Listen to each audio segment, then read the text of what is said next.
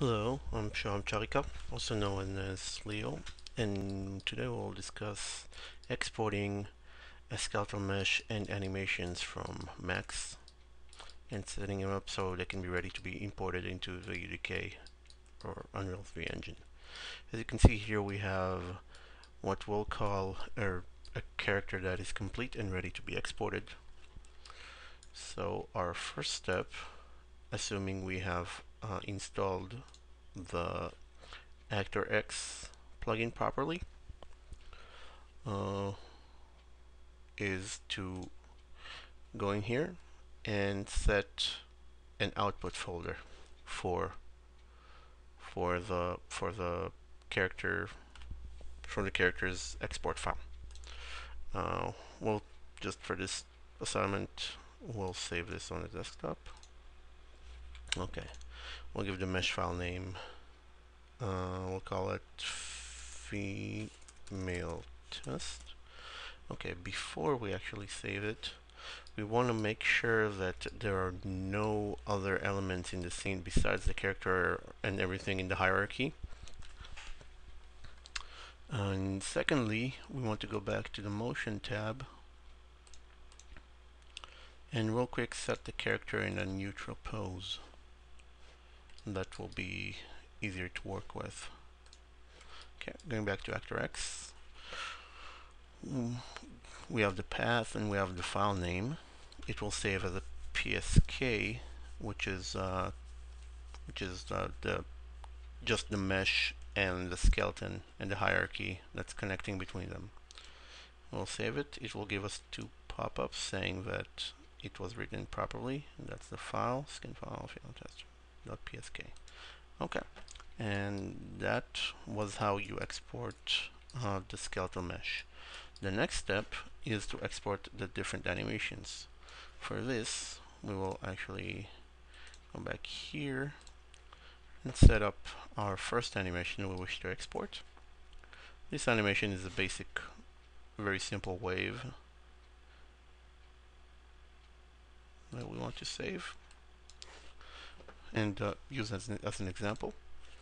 Okay, so first thing is we want to give the animation file name. Uh, we'll call it female test as well. Okay.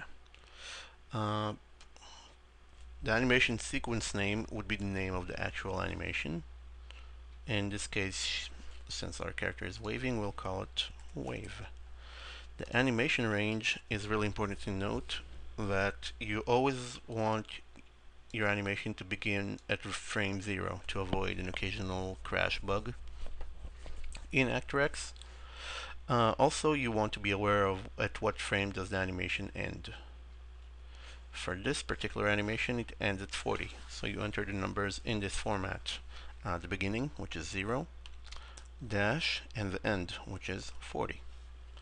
Once you have this information in, you can click here on Digest Animation, which will give you a pop-up telling you that it was digested.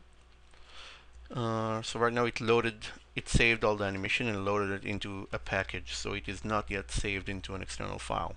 And you can see the package right here. This is the wave. You can also double check here to make sure that it was digested properly. Okay, we'll load a couple more animations before we continue.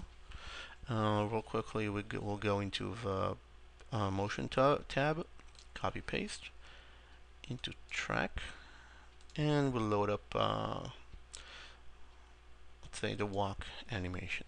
Okay, we'll hit paste track, and it change and it replaces the existing animation with the animation previously saved. This particular animation is a 20 frame walk cycle. So we'll treat it as such. Going back to the Actor X, we will change the animation sequence name to walk and the animation range to 0 to, to 20. Okay. Once that's ready, we once again hit digest animation. It lets us know that it was digested. Um, we'll pop up open the animation manager to make sure they're both in there and we'll do this very same step for one more animation the kick animation. We'll paste it in. We'll double check to see it plays properly. Okay.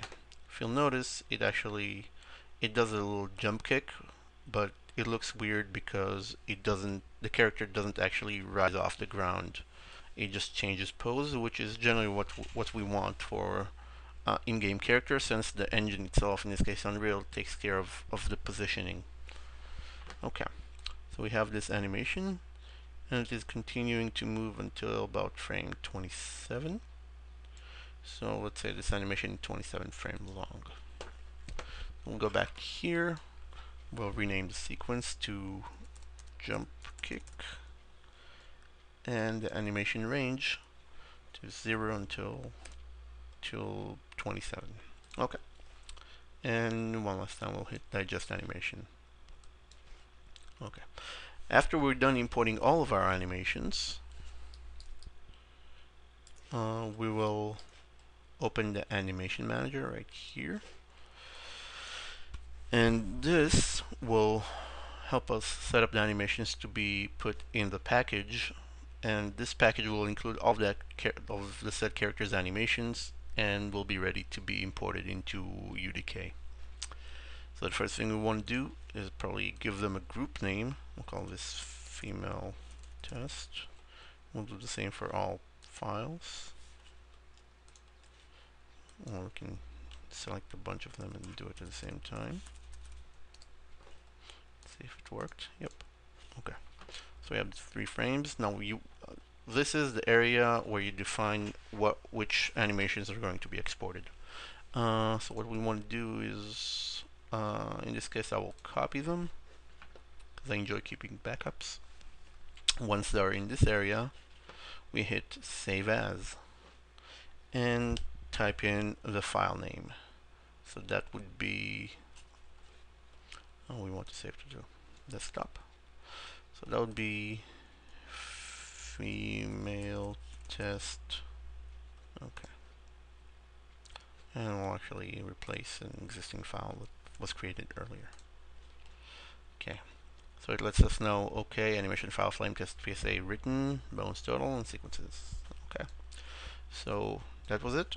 Both your PSK file, which is the skeletal mesh and, and uh, the character information, the skin information, and the PSA file, which is the file containing all your animations, are now ready to be imported into UDK. That concludes our tutorial. Thank you.